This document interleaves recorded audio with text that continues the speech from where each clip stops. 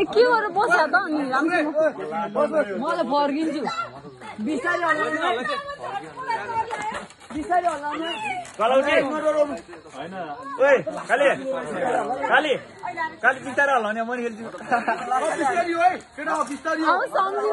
म नि खेल्छु। जाने नै दाले हल्लाउनु जाने डर्छेर मान्छे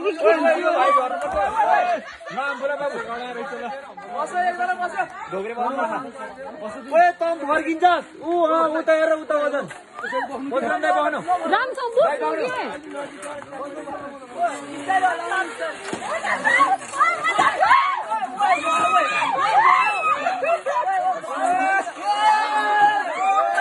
काली ओइ ओइ